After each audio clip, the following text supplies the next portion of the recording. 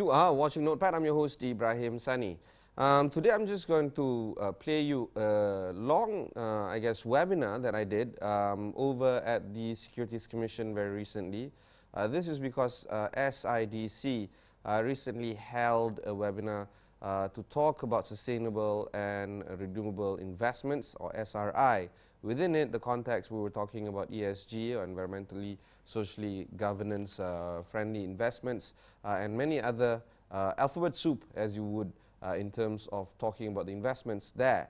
Um, in that uh, panel that I had, I had Monem Salam, uh, the EVP or the Executive Vice President of Saturna Capital, as well as Amri Sofian of Danajamin. He's the Chief Corporate Investment Officer there.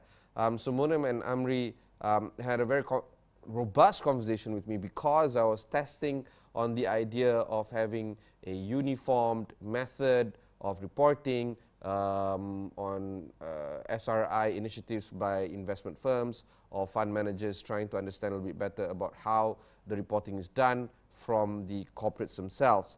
Uh, so the idea here is we're trying to distinguish the job, the title here is distinguishing fluff from the real stuff when it comes to SRI. So here is the clip, enjoy it. Yeah, thank you very much uh, for Ibrahim and for allowing me to speak here today. I mean, I think that yeah, what I wanted to talk about regarding the fluff versus what's actually practical is the idea of transparency, right? And uh, that transparency comes from two different angles. Number one is from the investment manager perspective, and the other one is from the company that's actually putting out the uh, ESG scores or ESG materials.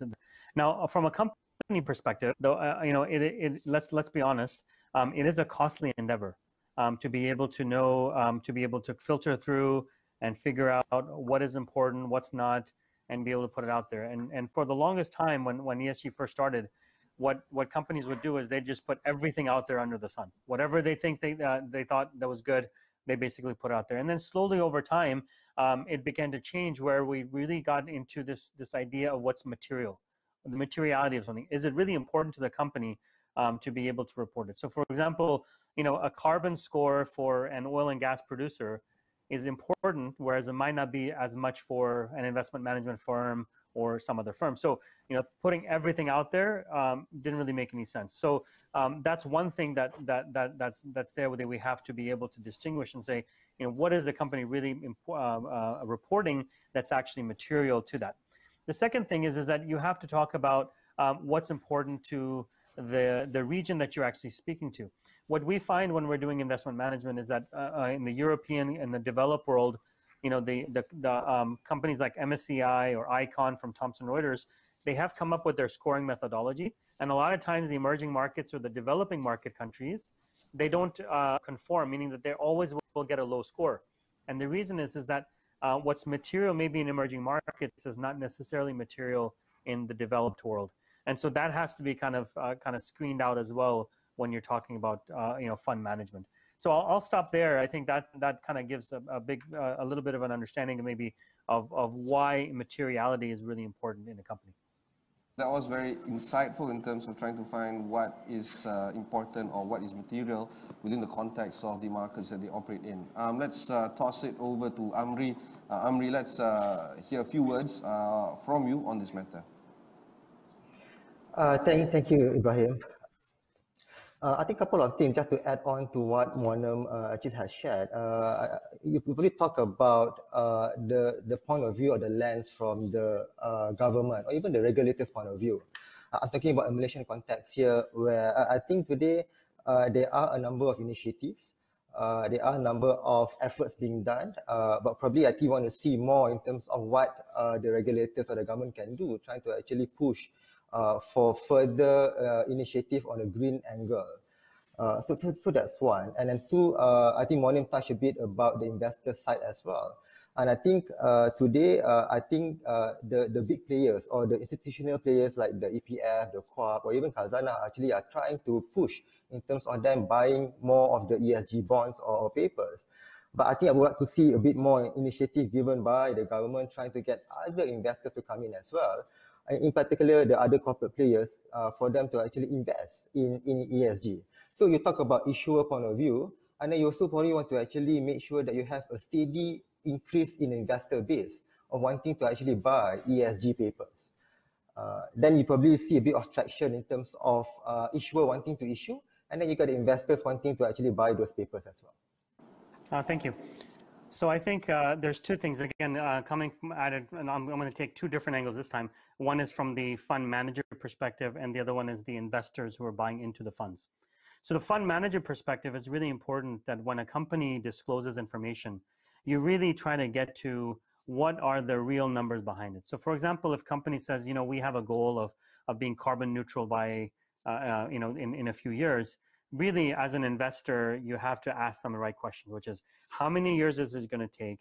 How are you going to get there? And what are the real plans behind it? Because anybody can say they're going to have a goal but as if they have something uh, some meat behind it as goals are how they're going to get it then as as a as an investment manager i would feel more confident that yes it's they're taking it more seriously than just putting out uh, um, something that's out there that's fluff or otherwise otherwise be greenwashing um, the second one is from the perspective of the investor buying into the funds, and that's a little bit of a different uh, formula. And that is what you're doing there is not really uh, looking at companies themselves, but you're really looking at the fund manager. What type of disclosures are they making in their prospectuses and in their in their offering documents that say how they're going to do that? Now, obviously, if a fund manager integrates their ESG into their research process when buying companies, that's going to be better than a fund manager that just buys regular companies and has a small department of maybe two or three people running ESG, and they're going to tell the fund, fund manager whether or not they're allowed to buy the stock or not buy the stock. So really, I think that's one of the key areas that I think investors should look at, which is make sure that the fund manager has the, their ESG processes integrated into the research that they're doing on the companies that they're working on. Um, so I'll, I'll, I'll, I'll follow up with that and say, question you want to ask is what have you done so far in, in, in being able to get to even 25%, 10% of the goals that you've set out for yourself? Um, that's, that's, that's the next question that's there. Then after they said, okay, we've done, you know, X, Y, and Z, you know, then you can actually look at it and say, okay, is that, is that material or is it not? Um, but I don't want to uh, discount here the role of a regulator as well. And that is that uh, not, the regulator's role is not to say that, in my opinion, that these are the criteria that you should come uh, report whenever you're reporting, but really to be able to say that when you report, that you are held responsible for what you're reporting. When you do that, then you don't get uh, the immaterial uh, uh um, uh, uh, fluff out there in, into the reports and those types. So if a company tells me that they've done 10% of their 100% plan, then I know that they're telling the truth. It's it's really something that's there because they're going to be held responsible if they're not telling the truth. I think that's really important from a regulatory perspective that that that is that, that is put into the mix. Amri, let's bring into the context of Malaysia right now. Yeah. Oh yeah, you want to add something? Yeah, let me, let me just add something to Ibrahim. I, I think uh, a couple of things here. Uh, you're talking about one thing to actually make this uh, as part of uh, everyone's BAU. If you recall, maybe like Islamic finance, I think it, it sort of like started maybe like 30 years ago. I think in Malaysia, for example, then I think there's some sort of certification being rolled out by regulators for people to actually understand Islamic finance better. Right? Maybe perhaps I think uh, a context is actually for a, a global or, or unison uh, certification out there for people to actually go and learn about it. So they get a bit more understanding about what is green, what is SRI then maybe with that kind of knowledge that they have, right, uh, being certified as well, then they can actually can ask those questions when they attend any analyst meeting or any PLCs uh, quarterly updates and all that in terms of uh, where they are on the process of of make it green. You know, not just talking about that you know first level of question, but you follow up with the second or third level of questions. So that's point number one, talking about certification, right? Uh, the, the other point that maybe we can consider is actually uh, maybe the disclosure within the PLC can be a little bit more robust. I know today uh, Bursa did uh, uh, actually en en uh, enforce uh, certain disclosure requirement being made uh, in the PLC annual report. But you can see that that information that being given out is actually not uh, not unison, not there's, there's no standard being, being given out. So it's up to the PLC to disclose what they want to disclose, right? Uh, in order to actually get people to be on the same page, probably perhaps to actually have some sort of like minimum uh, disclosure requirement uh, for PLC to report on an annual basis on what they have done uh, on the green stuff or and on, on SRI and all that. So make the user, make the analyst, make the investor uh, better informed on, on the process. Uh, we'll go for a short break. When we come back, we'll continue on this uh, conversation of SRI investments. Don't go anywhere.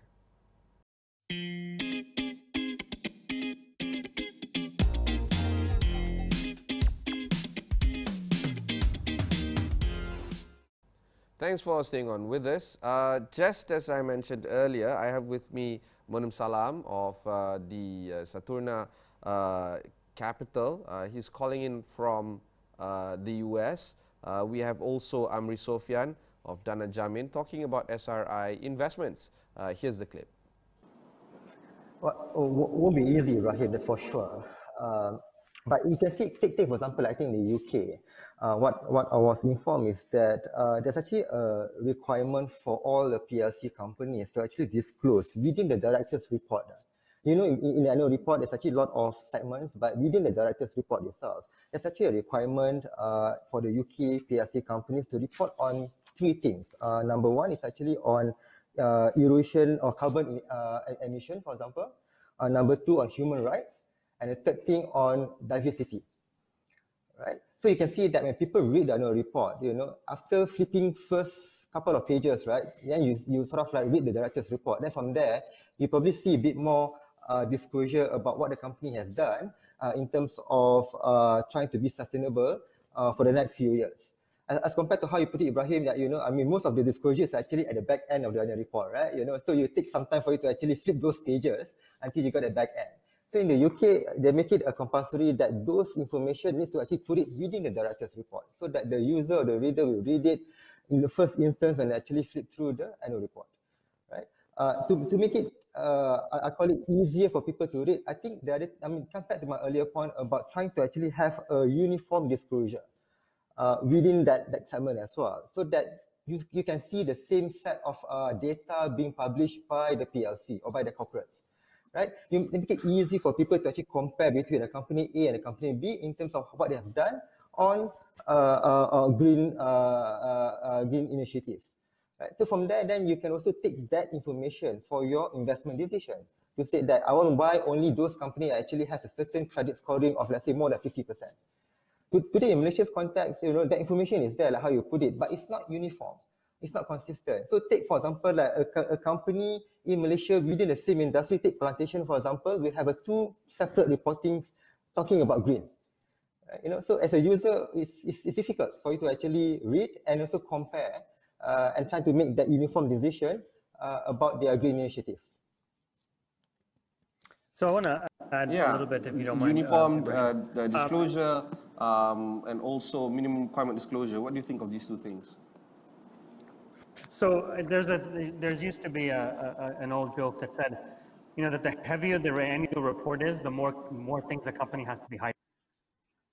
And so I think for the for the case of sustainability, it's it's very simple. It's called KISS, like keep it simple, stupid. Um, and so you know, it, it, you don't need to have a large report. Again, I'm going to go back to this, and it has to do with materiality, right? A, a bank, for example, that talks about how they're going to be saving the, the environment there's something wrong there. They have to be more talking about diversity, uh, you know, how, how they uh, uh, um, doing uh, going after the unbanked, you know, those type of things. The S part, the E part, uh, the G part. Whereas maybe an environmental company that focuses more on the G part and the S part, there's something wrong because they really need to be focusing on the E part. As far as standards are concerned, I think Amri's, Amri's right to a certain level. I think the standards need to be uh, coming about from an industry perspective, not from a regulator or anything else. And the reason is because what, what you mentioned, which is that if you give somebody a standard, they're only going to live up to that standard and that's it. Whereas if you let the industry decide what's material and then after that come up with those standards, they're constantly going to be changing. One of the things you, uh, Amri mentioned was about Islamic Islamic finance versus ESG. And the Islamic finance, because we're actually borrowing uh, the, the, the actual and ideas of investing from a holy book, they're pretty static over the long run. From an ESG perspective, they're constantly going to be changing. What is ESG now, hopefully, will not be what's ESG 10 years from now, because we would have graduated from this idea of, you know, are you not no longer carbon neutral because everybody is, and we're getting into the next phase, which would be, you know, maybe carbon plus, uh, carbon minus or something along those lines. So it, it, there has to be some dynamism in even the ESG screens so that we can keep moving the needle more and more towards a, a better and healthier planet. That's, that's, that's a very good point, Ibrahim. Uh, I mean, being being a fellow uh, chartered accountant as well, you know, so you're bound by by a lot of disclosures and guidelines and reporting needs, right? Uh, I, I think it also forces behavior uh, from the CFO point of view, as well as uh, the company's standpoint to say that to make sure that they're actually adhering to a certain, I call it uniform uh, standards out there. So, so I think your point is actually today there are quite a number of uh, bodies that actually cover different aspects of of of uh, ESG, right? You know, I think that makes it difficult for anyone, not just in Malaysia, but talking about trying to actually bring this to a global standard.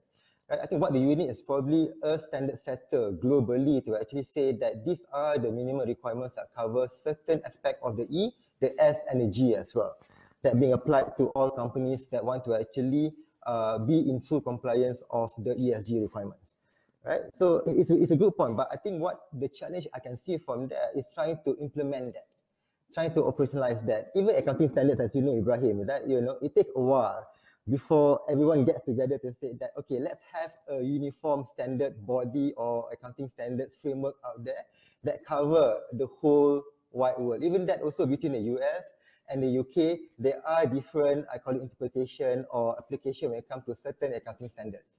So you can imagine that you want to actually do this on a global uh, environment or global setting, it requires a lot of push from everyone to say, okay, this has to be done.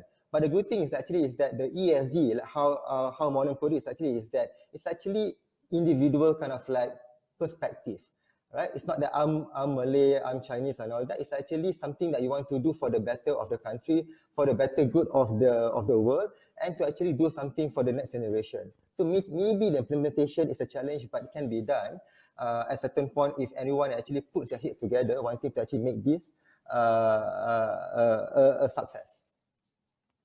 No? Um, sure. So I think uh, a couple of things I'll just uh, piggyback off of uh, what uh, what Damari just mentioned. So first of all, there is um, uh, now more um, reporting standards that are becoming standardized. Uh, you know, Michael Bloomberg actually running a task force uh, for for the global reporting standards. Um, but I think you're absolutely right. If you compare that to um, uh, the kind of like what what the accounting is, you can have some internet standards and then have it custom region or country. So, for example, even in accounting, you have the IFRS, but then there are some MFRS as well that kind of localize it to the Malaysian context as well. So um, that's definitely the case because if you come up with global, global standards, the problem becomes is that a lot of the emerging emerging markets, which are um, you know having to deal with commodities and and and, and gas and plantations, you know, they can quickly be eliminated from um, uh, from being positively ESG uh, uh, course, and so have to have a context to so to these reporting standards. So, uh, so thank you for that. So the first thing is, as I mentioned, was on the regulatory side, is the regulator should not be responsible for saying this is what you report, but rather saying whatever you do report is actually accurate and will hold you responsible. That's the key. Um, and so, uh, so that that's a very very important aspect of it. Then from there, um, you know, the industries can come into play and they can, you know, what material for us is going to, you know, X, Y, Z, ABC is not really that important. Um, and the way you get on board with this is you help to the fund owners, not the actual companies themselves. When people, when companies realize that it, they can basically have a, a X factor more investors, they have have ESG standards, then are going to naturally be towards actually having those ESG standards in place.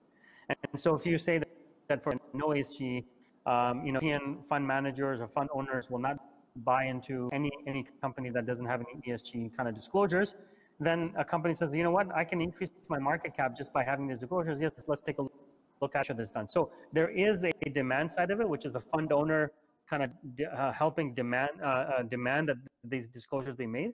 But at the same time, uh, um, the industry needs to kind of come together and say, this is what we want. And then the regulator comes and says, you can report whatever you want, guys. But if you report it, you better stick to it. I, think the answer is a firm yes, Ibrahim. Uh, you, are right. I think uh, the corps, the EPLs, uh, Khazanahs, I think they're taking the lead wanting to actually invest more on ESG papers or bonds. Uh, maybe you're talking about wanting the industry to drive. Maybe the regulator can be behind the scene wanting to make sure that that's being done as well. And I think to the uh, companies like EPF and QAP and all that, I think they also probably need a bit of push as well in terms of maybe a certain tax breaks or certain incentive for them to say that if I actually buy and invest on ESG papers, what do I get in return? Yes, apart from trying to actually being green and all that, at the end of the day, also you're talking about wanting to invest to earn a certain return right? Uh, it comes back to the dollars and cents, right? Uh, so you can't run away with that. Uh, so, so maybe from a regulatory point of view, it's actually to continue introducing uh, many other initiatives. Uh, I know there are quite a number of uh, tax breaks, uh, tax exemptions being doled out out there. Uh, but I think uh, there could be probably a bit more effort being put to actually encourage more uh, uh, incentive to be given to investors themselves. I think today the the the initiative or the incentive are given more for the issuer of the of the ESG or the the green bonds, uh, but not so much I would say in terms of the investor point of view. I have some, but I'll let Amri go first if, if you want to. uh, Ibrahim, I think uh, again you're talking about dollars and cents. You're right. You know, I think as investor, you probably look at what investment I can make or invest that just make more return. Uh, the moral suasion will come probably a bit later. Uh, in, in, today's market, uh, I would say that in terms of the yield pickup, say for bonds and sukuk, when it comes to green as compared to uh, other non-green papers, uh, there's not much difference. Uh, so again, investors are, are able to actually choose depending on what can actually offer me a higher return. if you're talking about equity market, I think I saw this somewhere that if you compare between a FTSE for good uh, there's a Malaysian uh, index that actually uh, uh, disclosed about 71 counters uh, uh, that actually ESG sort of like driven by ESG as compared to let's say uh, the KSCI over three years. Uh, the total return for the uh, uh, ESG uh, equity is actually slightly higher as compared to uh, the KSCI. Our told it's actually uh, the total return over the three years is about 12 percent for those counters under uh, FTSE for good as compared to eight, only 8% uh, for, for those uh, under the KSCI. Uh, if you go slightly, uh, if you go further up, let's say globally, uh, you can see the same trend. Uh, MSCI, for example, for the emerging ESG uh, leaders, they actually have outperformed uh, the MSCI emerging markets uh, over a longer run. Uh, in fact, during difficult times as well, uh, you can see that those uh, MSC uh, emerging ESG leader actually are a bit more re uh, resilient as compared to the uh, MSCI emerging markets. Uh, so, so you, you're talking about uh, uh, coming back to uh, what the investor is looking at, and I think it comes back to still uh, what can actually I invest to make a higher return. Uh, so in that context, uh, you can't run away to what you just said, Ibrahim, to say that you know, I mean, uh, uh, if it's cheaper, it's better return, I'll go for it if I think also if regulator want to come in, it's actually to look in terms of again incentive for the investors, i.e. further tax breaks if you're saying you invest in uh, ESG bonds or sukuk as compared to uh, non-ESG bonds. Uh, interest, uh, let's say interest income deduction or something like that, uh, that can be applied to uh, uh, companies for let's say year assessment uh, now until let's say uh, three years from today. You know, just to spur uh, a bit more investors to come in to buy those papers. Would you like to add? Thank you. Yes, I do actually. So, uh, you know, um, uh, uh, uh in our Islam, 50% of our investors are non-Muslim. And so what we like to say is money is agnostic. Uh, it's going to chase the returns, as you mentioned, um, uh, where, where, wherever they can find it. Um, and so, but, but when you look at ESG, you have to look at it from a little bit more longer term perspective. It's not only about the alpha, right? It's the return generation, but it's also about the beta, which is the risk mitigation. And a lot of times the outperformance comes not, uh, um, you know, immediately. Sometimes it does. But over the longer term, what you find is that larger the ESG leaders, they are going to be the ones that are less risk, of, um, they're more risk averse, and they don't go down as much when you have um, uh, uh a certain that happen. And so that's really where ESG begins to shine, right?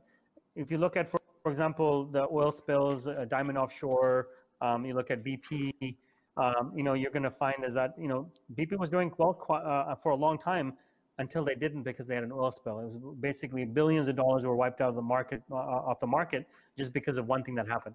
Now, that can happen automatically. That's a risk mitigation. So if you off- combine both of those together, No, no, sorry, Go sorry. Go, on. saying? Uh, finish your thought, please. Okay, so bef- uh, combining both of those together, you're going to find is in the long run, and actually the indices will kind of prove that, is that you will end up with an outperformance of ESG versus a conventional index.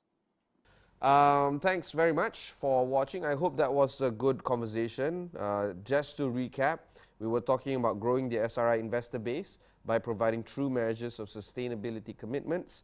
Uh, we were talking about ESG ranking as an accurate representation of an organization's commitment to the cause. Uh, we're also um, championing transparency and materiality because uh, as uh, Monem was talking about, what would be material in this part of the world might not be material in other parts of the world. What would be material in some industries might not be material in other industries. So those are the kind of, I guess, general ideas that we were talking about at length uh, in this webinar.